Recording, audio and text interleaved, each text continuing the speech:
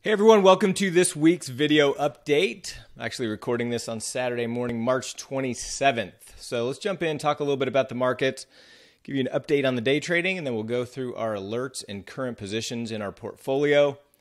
Uh, to start with, looking at the S&P 500, uh, big, you know, we've last couple weeks we've seen a little bit of weakness, but big rally on Thursday and Friday to put us all the way back up at all time highs, just under all time highs. I was I was talking about last week that uh, actually right here, I was thinking we would probably bounce from here and uh, and go up to all time highs, but took a little bit more weakness, a little bit more time, but here we are, right back up there. So. What, as I mentioned the last couple weeks, we are expecting continued higher prices. So, we are still carrying a little bit of short delta in our portfolio, but we're less than one to one on our short delta versus our theta ratio. So, uh, so basically, for every dollar of theta that we have, we've got about 50 cents of short delta, and that's beta weighted to SPY. So, uh, on this downside, you know, we got we did get smoked out of a couple of iron ducks this week in Rut. Rut saw a lot more downside than the S and P, for example.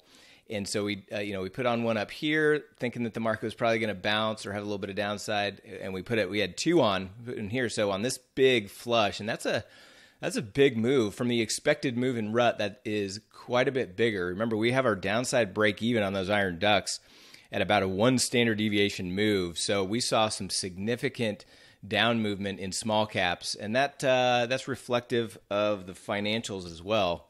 If you look at XLF uh, pretty pretty big flush in in financials as well. The Russell holds a lot of the smaller banks, and so is even even weaker than XLF. But I got a couple of questions like you know should we should we keep trading Rut for the Iron Duck? You know what, what you know maybe maybe we should trade something else. And the answer is no. I mean Rut is a an excellent vehicle for that. Uh, really any index is, and we like these big European style because the expiration and because of the because of the high price. But you know, just because that had a flush the last few days, don't let that def- deter you from trading it. Uh, you know, you're going to get caught in some of those. We're just we're playing the probabilities over and over, and the fact that we had two losers in a row in rut has nothing to do with the fact that we should still continue to trade it. Uh, you know, obviously, I've I had some uh, iron ducks in a personal account in NDX. Didn't have near as much downside.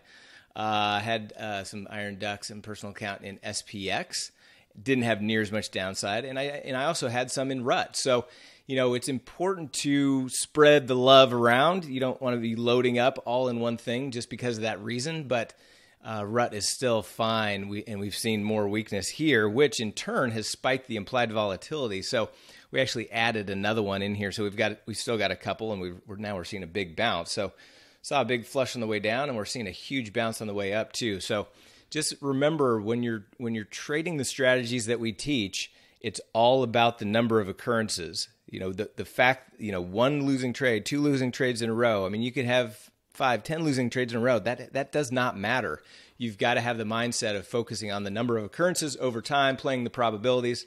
You're always going to have strings of losers, and think about that, especially when you're trading in iron ducks and you have a huge flush.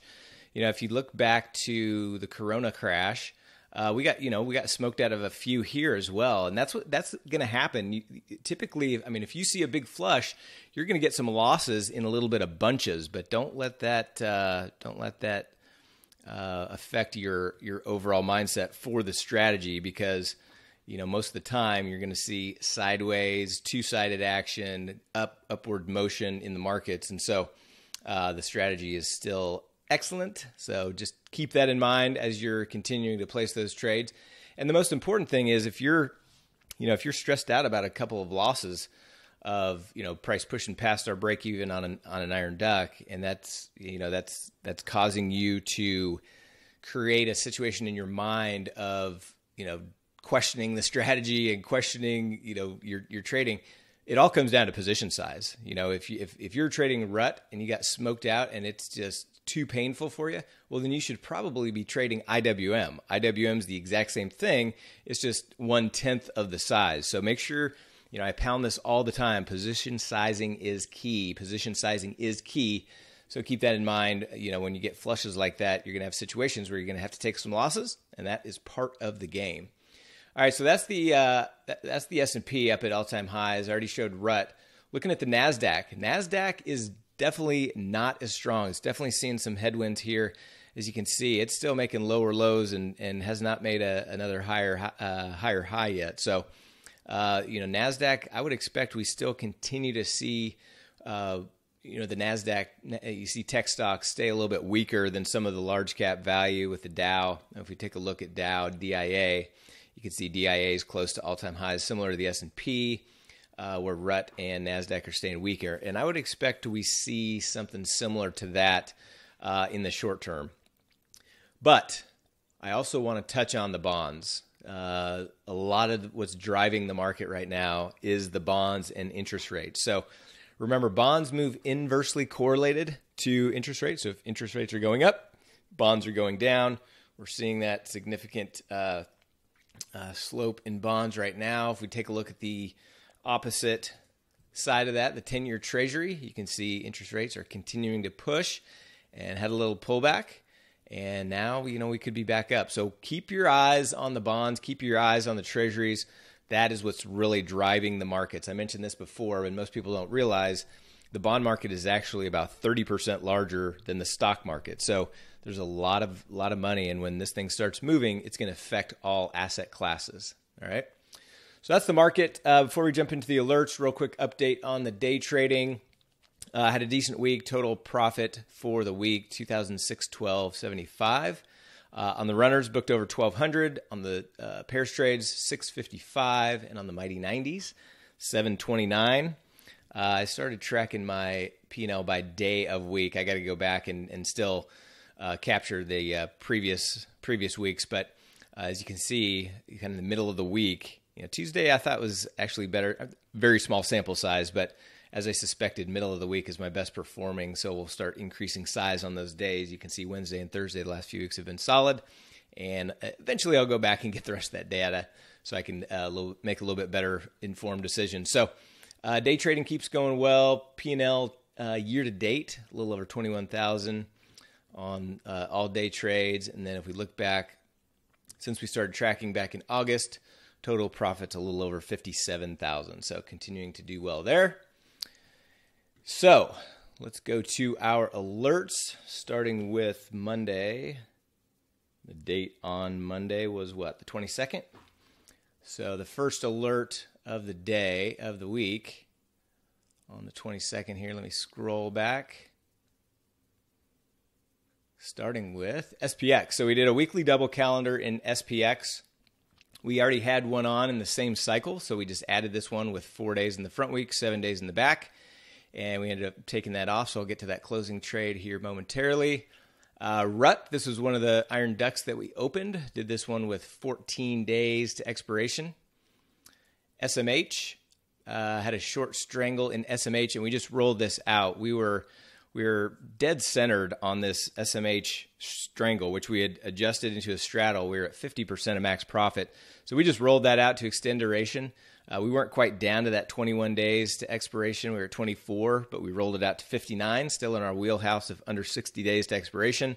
So if we go to SMH, let's check out the risk profile. Big day in SMH at 5% on Friday. Uh, you can see we're still fairly centered here, and we're up about 160 some dollars since we did that roll. So we'll continue to manage that one.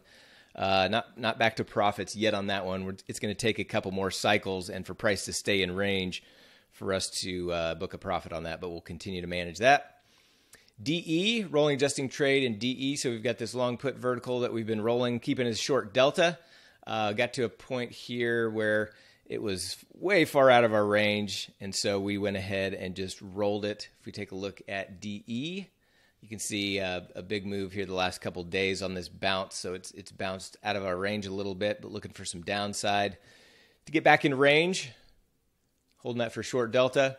Uh, in Adobe, we did an earnings iron duck. So they announced earnings. Did this one with three days to expiration. We on Friday, price was hanging out in the duck head area. We had a chance, I thought, to potentially book close to max profit. But with the market just exploding higher on Friday, we uh, we ended up just booking a big profit on that one. Rut closing trade. So here's one of our rut iron ducks that we got smoked out of. So price moved lower past our exit point. So we had to close that out. At that point, we were still holding two, one with eight and one with 14 days to expiration. FDX had a uh, we added a long call diagonal. So remember we added a short put vertical after earnings. It opened above the expected move. Price came down right at the uh, and held right at the uh, pre-earnings price level. So if we take a look at the chart, so this red line signifies the expected move. After earnings, it shot up, came down a little bit. We got long right here, and a lot of times what'll happen is it'll kind of trend sideways or just shoot up. Now we got caught in the flush of the market, so the market came down right to that pre-earnings level right here on this bar. And so I was waiting for it to see if it would hold, hold, and once it did, we added another bullish position and benefited from not only FDX but the rest of the market pushing this thing up, but big push in FDX. So on both of our positions, we're now profitable. Here's the short put vertical that we put on right after earnings. Uh, could have taken this off, but you know it's pretty close to the end of the day when we saw a real massive part of that rally. So uh, on Monday, hopefully this kind of stays up or even pushes higher, and we'll book that one for a nice, you know, at least 50% of max profit. And then we've got our long call diagonal, which uh, we're using. What are we using here? About $386 in buying power and risk. And we're already up 181, so we're already up at about 50% of max profit on that one. So we'll probably take half of that off, and then let the other half ride. See if we can uh, see if we can get some more upside out of that one. Amazon closing trade. So we did an iron duck in Amazon. Amazon stayed pretty strong. It was way up the way up the beak. So we just closed that out, uh, closed that out early, booked beak profit. If we take a look at a chart of Amazon, kind of compare what Amazon has done to the rest of the market, you can see it's just been kind of chopping sideways. I mean, it had definitely had some couple big down days, several big up days, but just kind of chopping sideways, which is just fine for our ducks. Next trade, closing trade in rut. So this is our second iron duck that we got smoked out of on that huge down move. Uh, so at this point, we are just holding that 14 day duck that we put on earlier this week. So if we take a look at, actually, i added one more here. So I'll go to rut here in a second. Uh, IWM, this is one of our short delta plays. This is a long put vertical. Uh, we are over 50% of max profit on this. So this is, like I said, IWM's one tenth the size of rut. So this is a a short position that we had at IWM, so that benefited us. So even and here's the other thing, guys. Even though we got smoked out of those couple iron ducks and those were painful, our P and L was still positive, uh, partly because of our short delta positions that we had on, and partly because of our other you know positions like FDX and some of those others that benefited from the from the bounce. So you've got to have that balance in your portfolio that you're comfortable with Obviously, we don't know what's going to happen ahead of time. If we if we know the market's going to crash, we're going to load up on short delta, but that's not realistic, and we're we're holding very little short delta because we anticipate higher prices. But uh, part of our short delta was in IWM, and on that flush, we got to a point of being over 50% of max profit. So we just rolled that out from 22 days out to 57. So if we take a look at IWM, Uh, now has obviously bounced up since we did that roll, so it's a little bit out of range, but just holding this for some more downside if it comes. And then QQQ, same exact thing. So we got to a point where we were over 50% of our max profit on that. So we just rolled out in time and just, uh, you know, rolling some of these Aprils. We like to spread out our rolls. So we've got several vertical spreads that we're carrying for that short delta exposure. And so we like to spread those out. So that day we did IWM and QQQ. Again, Qs have bounced a little bit, so it's slightly out of our range now, but we've got a lot of room to the downside if things do turn south. Rut. So this is the opening trade. So we added another iron duck in Rut, did this one with 13 days to expiration. So if we take a look at Rut, we've still got two iron ducks delete these theoreticals. So we've got this one here with a 4-2 expiration. Now you can see prices on that bounce, prices really moved up the beak here, and there's very little chance of price getting back into our duckhead area. So next week we'll probably just close that out, uh, book a profit, wait for a little downside, and potentially put another one on. Uh, then we've got this one here that we just put on as well. This has got the 4-8 expiration pretty close to where we put it on, so still a decent chance that we could get down into the duckhead area. In fact, yeah, I mean it's we've got about a this is pretty close to where we put it on. So about an 85% probability that we'll uh, we'll stay in range here. So we'll continue to add ducks on any downside movements into next week as well. SPX opening trade. So this was a weekly double calendar in SPX. Put this one on with seven days to expiration uh, and 11 in the back week. So if we check out SPX, got a lot of theoreticals here. Let me get rid of those.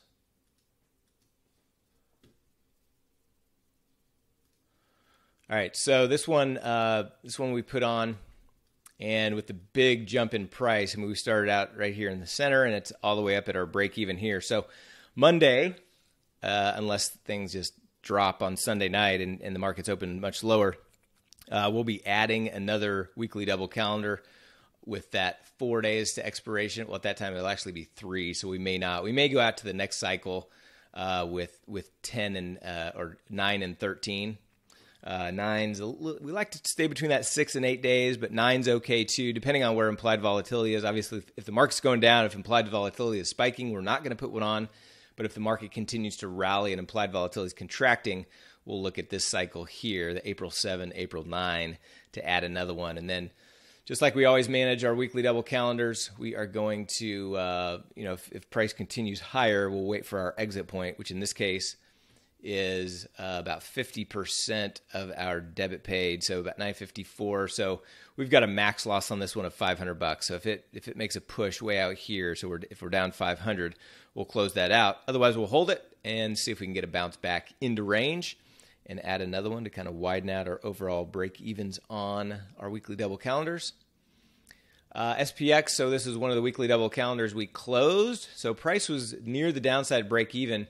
Uh, we kind of waited till later in the day and we almost got to a point of profit, but I didn't want to hold this in case the market flushed lower. Didn't want to take a big loss. So we ended up closing this out for a small loss. Uh, had we waited a little bit longer, like a little bit closer to the close of the day, we could have even booked a small profit on that one, but just scratched out a small loss.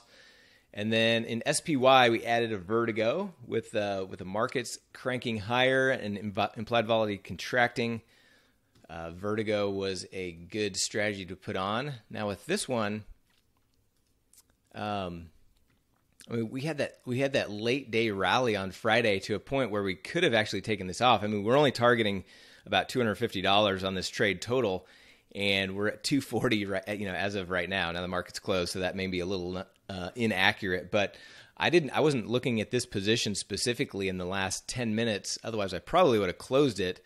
Uh, I know a couple people in the community went ahead and closed theirs. We just put this on Friday and had that quick rally on Friday. Could have booked a profit same day.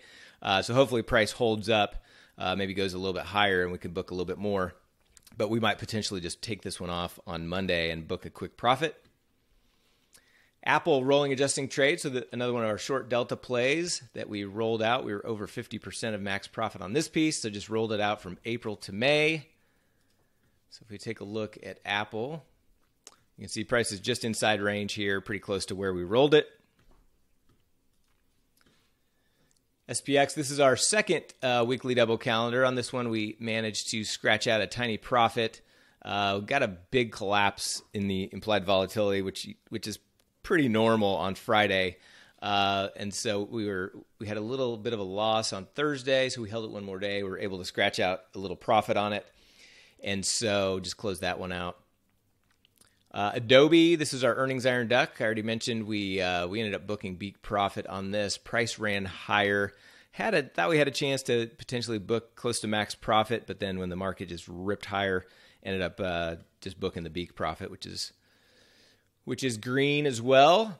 Uh, Lowe's. Okay, so on Lowe's, we had a our initial strategy was this long call diagonal we took it we took half of it off and booked a nice profit. We held the other half looking for more profit.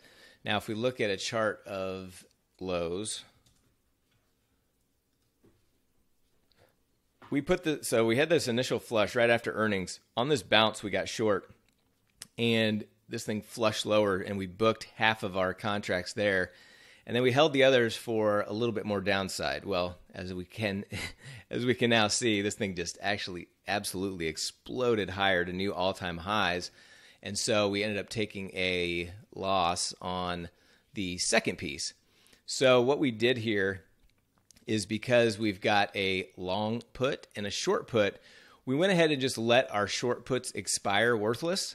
Okay, so those were max profit, so we just let those expire worthless.